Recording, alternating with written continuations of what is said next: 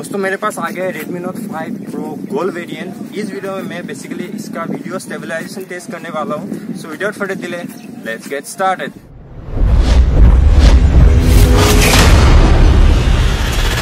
hey people welcome back my name is Bhargav और आप देख रहे हैं एक्सपर्टीज बिज अगर आपको ट्यूटोरियल अनबॉक्सिंग रिव्यूज़ और इस टाइप के वीडियोस देखना है तो यार चैनल को सब्सक्राइब कर लो साथ में बेल आइकन दबा लो, ताकि आपसे एक भी वीडियो मिस ना हो।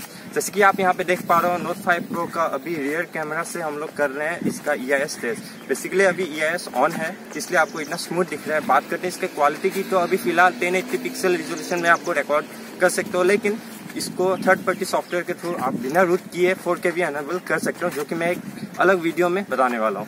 फ़िलहाल अभी आपको बहुत अच्छा स्मूथ दिख रहा है सिचुएशन भी बहुत अच्छा है। अभी सनलाइट है तो आपको पता लग गया होगा कि कितना अच्छा लाइट आ रहा है। लेकिन मैं इस थोड़ी देर बाद आपको लो लाइट वाला परफॉर्मेंस भी दिखाऊँगा। तो फ़िलहाल हम लोग करने वाले हैं ईआईएस को ऑफ़ फिर देखते हैं इसका कैसा परफॉर्म होता है। दोस्तों, अब देखिए ई आई एस डिसेबल कर दिया गया है। तो आप देख सकते हो कितना जर्किंग फील हो रहा है। अब मतलब आपको दिख रहा होगा कि जब ई आई एस इनेबल था तो वीडियो को क्रॉप करके उसको स्टेबलाइज किया गया लेकिन ये ई आई एस है ओ आई एस नहीं था।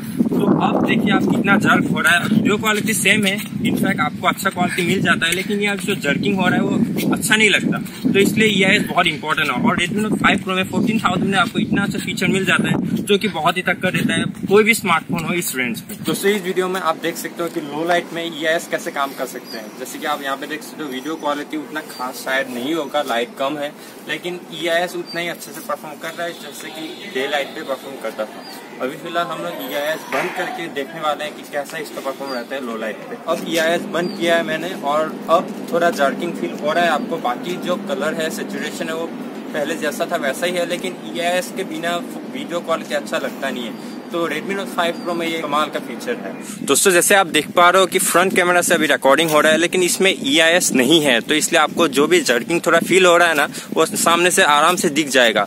लेकिन यार फ्रंट में ये भी एक्सपेक्ट नहीं था कि ई फ्रंट पे भी आपको मिल जाएगा एटलीस्ट बैक पे मिल रहा है फोर्टीन थाउज़ेंड में बहुत बड़ी बात है। तो दोस्तों आपको पता लग गया होगा कि ई ऑन और ऑफ़ करने के बाद आपको क्या डिफरेंस पता लगता है? आज के लिए बस वीडियो में इतना ही था। वीडियो को लाइक कर दो शेयर कर दो और कमेंट करके बताओ आपको वीडियो कैसा लगा।